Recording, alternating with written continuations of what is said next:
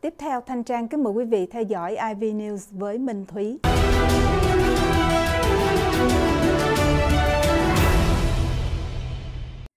Theo quan điểm chuyên gia, để vô hiệu hóa căn cứ của Trung Cộng một cách hiệu quả, cần hàng trăm hỏa tiễn.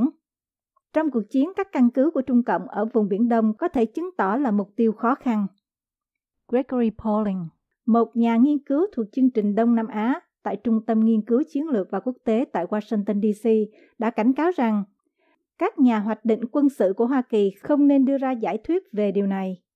Hoa Kỳ có thể dễ dàng loại bỏ giá trị của các căn cứ từ xa này trong cuộc xung đột. Pauling viết trong Chiến tranh trên đá, tức là War on the Rocks cho biết, các cơ sở này trông xa đến mức nào mà người Mỹ đã quen với sự thống trị không thể tranh cãi trên biển và trên không.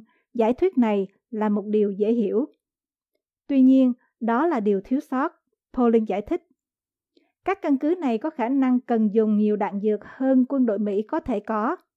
Trung Cộng chứ không phải là Hoa Kỳ sẽ kiểm soát không gian hàng hải của Biển Đông trước sự bùng nổ của chiến sự nhờ vào các căn cứ đảo nhân tạo. Và với tư thế lực lượng hiện tại của Mỹ trong khu vực, Hoa Kỳ sẽ rất tốn kém để loại bỏ những căn cứ đó trong giai đoạn đầu của cuộc xung đột. Điều này sẽ biến Biển Đông trở thành khu vực không có người ở đối với hầu hết các lực lượng Hoa Kỳ trừ tàu ngầm.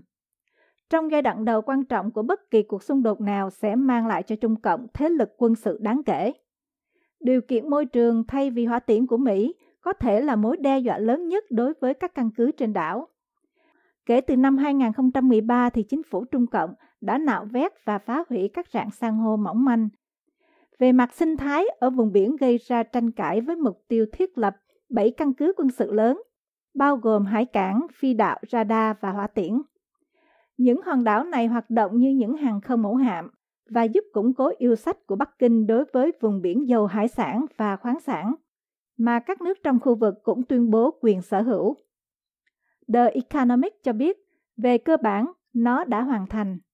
Có lẽ các thiết lập quan trọng nhất nằm trên các rạn san hô đá chữ thập, đá subi, đá vành khăn thuộc nhóm quần đảo Trường Sa, mà Việt Nam, Philippines, Malaysia, Brunei và Đài Loan cũng tuyên bố chủ quyền tại quần đảo này.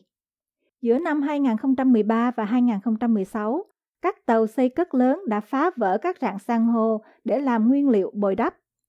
Theo South China Morning Post của Hồng Kông, thì công suất nạo vét đã chuyển 4.500 mét khối vật liệu mỗi giờ để đủ lấp đầy hai bể bơi kích thước Olympic. The Economic nói thêm, tuy nhiên không phải mọi thứ đều diễn ra theo ý định của Trung Cộng.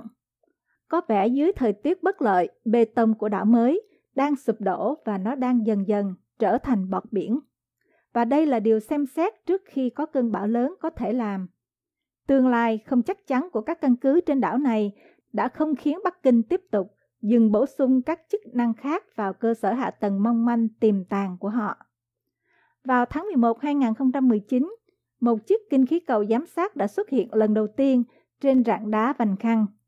Để bảo vệ các quyền hợp pháp của quân đội Hoa Kỳ đi trong vùng biển quốc tế, Hải quân Hoa Kỳ sẽ thường xuyên điều động các tàu chiến gần một trong các căn cứ đảo của Trung Cộng.